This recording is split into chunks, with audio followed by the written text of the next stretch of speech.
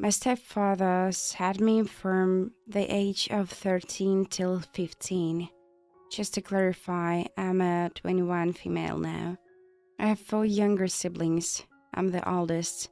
Then there's A, B, and C. A is I share the same father, while B and C share the same dad. That being my stepfather. When I first told my mom what happening to me, my mom and I found out her husband was cheating on her with a co-worker from his work. My mom was thinking about dropping the issue and I pressured her on to leave him. She was really confused about why I was so persistent on her leaving him. At first, I told her every valid reason as to why. My biological dad was abusive towards her and cheated multiple times even gave her many still during their 13 year old relationship. So proceeded to tell her that her current husband will definitely do it again, mainly because there were many allegations of him cheating. Only this one was actually had proof. She had still proceeded to tell me she was going to let it go. She then asked me why I was so persistent, and that's when I let out my truth. Your husband has been sexually abusing me for two years, and I want you to leave him. She got really quiet and asked me if I was lying. Tears rolling down my ears, I said yes. She was smoking a cigarette outside. She threw the cigarette down and ran inside. In front of my younger sibling, I, she asked him. At this point, I was having night terrors and panic attacks frequently. He then looked at me and gave me a stern look, and then at my mom. He was getting ready for work. He then proceeded to let my mom that it wasn't true and that I was pathological liar and as well as psychotic. My mom then told him that I will have no reason to lie about something like that. Him being almost late told my mom I was crazy and rushed out the door, slamming it on the way out. My mom looked over me and told me she needed some time alone. I gave her about 30 minutes and cracked the door open to find out she was talking to my grandma on the phone. I heard my grandma ask her if my mom thinks I'm lying. My mom says no.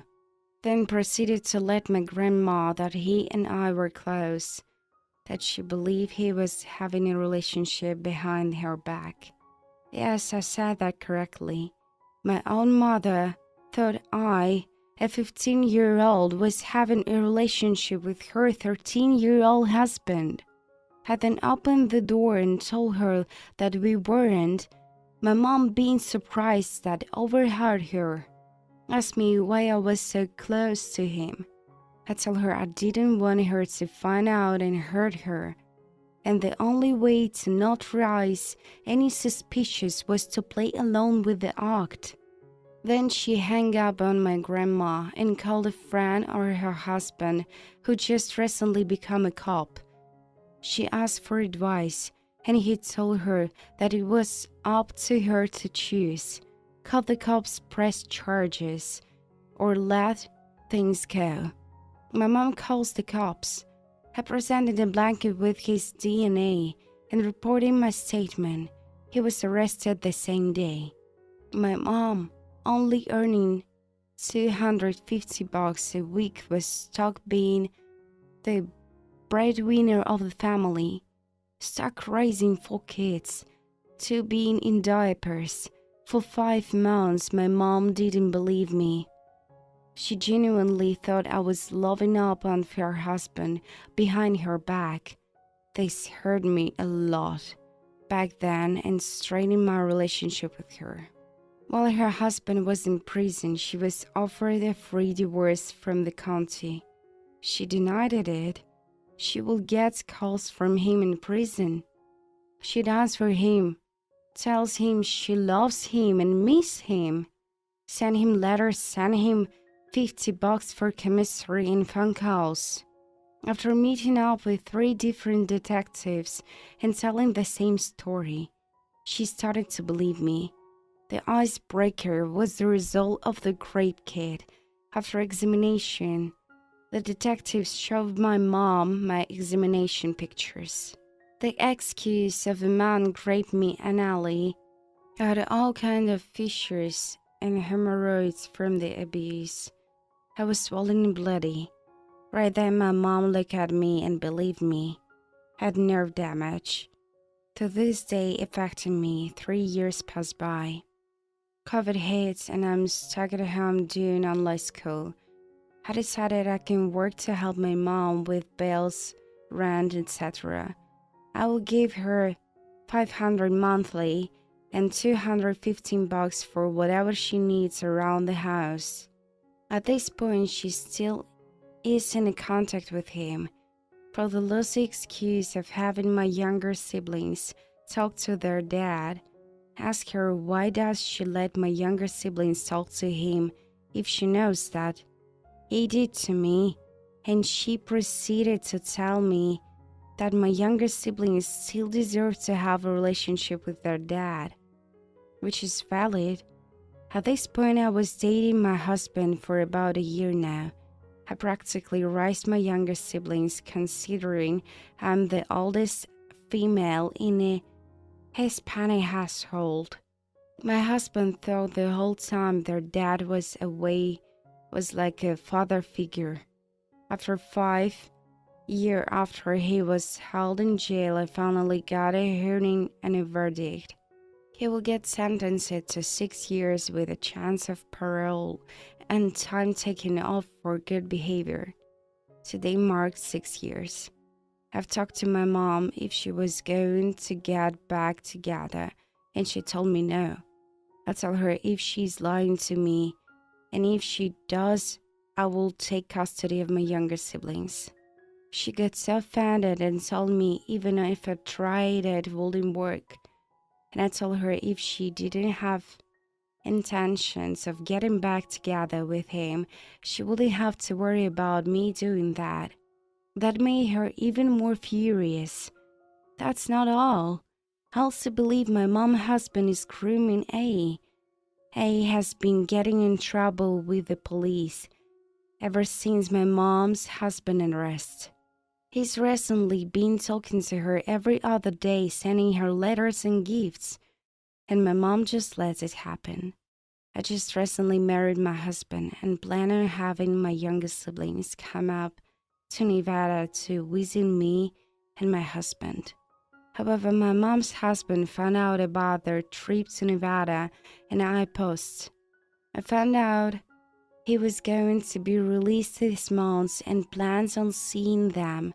However, I just recently found out that my mom wants to let him have unsupervised visitation rights, even though because he's a sex offender, he legally cannot have unsupervised visitation yeah, she's gonna let him have unsupervised visitation because he's their dad and deserves to have a relationship with him. I don't think what my mom is doing is for the best interest for my younger siblings. And I do believe she's putting them at risk. So I'm at the for wanting to take custody of my younger siblings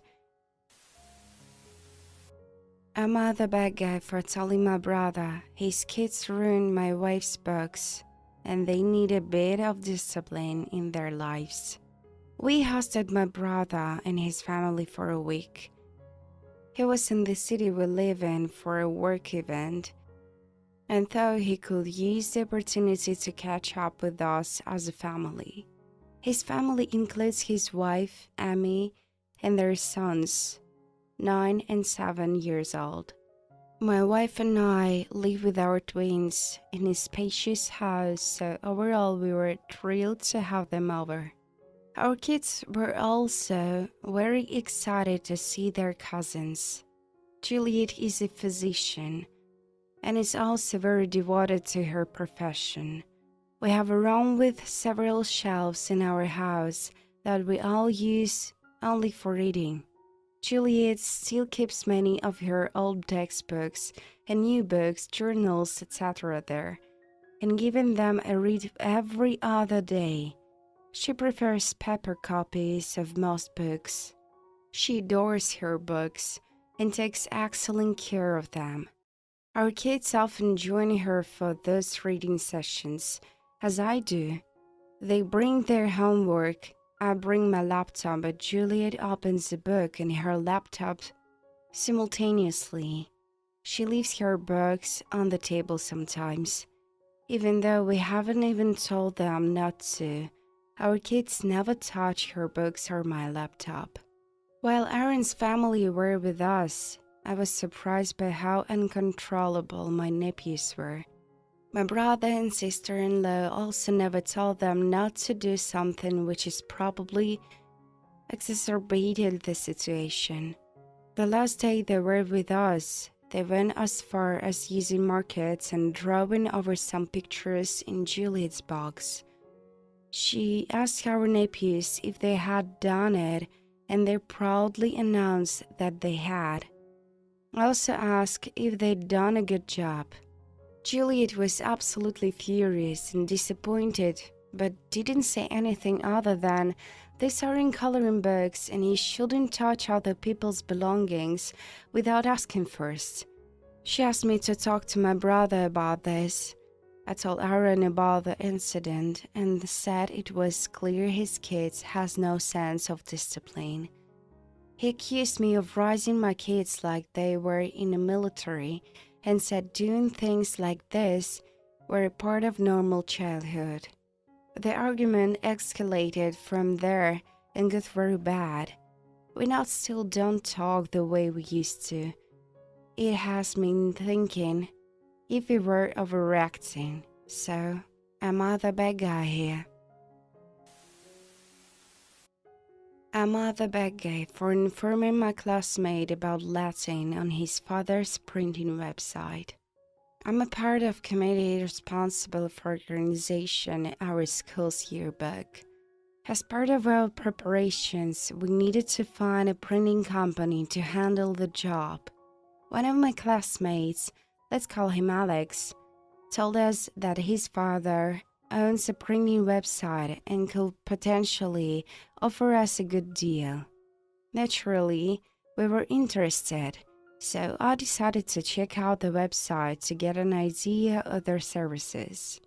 To my surprise, I noticed that in the About Us section, instead of meaningful content, there were Latin texts, lorem ipsum to be specific, which I thought gave the impression of being unprofessional and unserious. I decided to bring it up with Alex. I approached Alex and explained my concerns about the Latin text on the website. I empathized that it might deter potential clients and give the impression that the business isn't taking things seriously. I thought I was doing the right thing by offering constructive criticism and trying to help improve the website. In the meantime, since I hadn't heard back from Alex's father's company, I began looking for a backup printing company just to ensure that we will have a reliable option if needed. However, when Alex found out about my search for alternatives, he became even more upset. He felt that I was undermining his father's business and trying to replace them without giving them a fair chance. As a result, Alex promptly informed his father about our conversation, including my concerns about the Latin text and my search for a backup company. To my surprise, his father was deeply offended by my remarks and the fact that I was looking for alternatives. Consciously, he decided to withdraw his offer to print our yearbooks.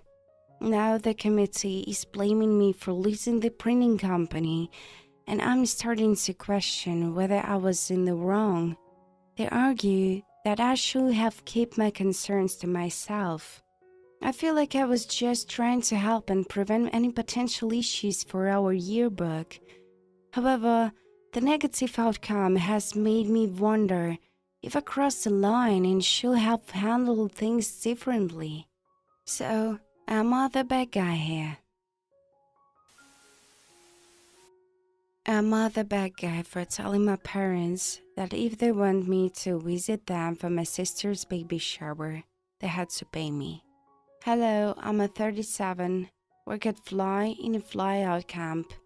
I also make really good money, earned roughly 3x the national American average, which is great because it means I will be able to afford a life. My sister is 24, lives at my parents' house with her boyfriend while they go to college. She got pregnant and it's time for a baby shower. I was talking with my dad about it and asked her to remind my sister of my schedule because I went to attend. My stepmom heard and said they they wasn't about me and to not try and control things. So drop it. When I got the invitation, I was in the middle of one of my shifts, so I called my sister and asked her what the most important thing she wanted was. She mentioned a stroller that cost about $1,000. I said to take it off her register because I would buy it since I wanted her to have the best of my niece or nephew, and I wasn't going to attend the party. She asked me why I wasn't coming, and I said that I will be working. She said that I should have told her so she couldn't plan for me to be there. I said that her mom had said not to try and control anything or make the day about me. Now my dad is calling me saying that I started a fight because my sister is pissed at her mom for me not being at the party. My stepmom also called me and asked me to take time off work to attend. For me to do so, I will have to skip a shift. So I will lose 14 days of pay.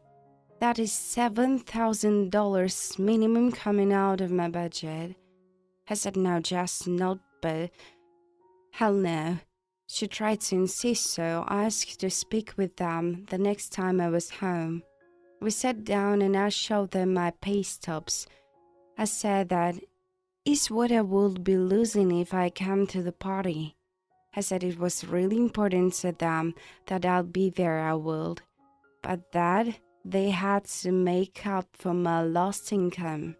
I gave them the choice of $7,000 in cash or $6 in cash, and they bought the stroller she wants and has already marked as purchase on her registry. They're pissed at me now for expecting me to be paid to attend a party. They said that I'm putting money over family, and I'm being a miserable bad guy. I said that all it will have taken for her not to interfere in a conversation between myself and my father. He could have reminded my sister of my schedule, and if she really wanted me there, she could have scheduled it for a week I was home. So, am I the bad guy here? What do you think?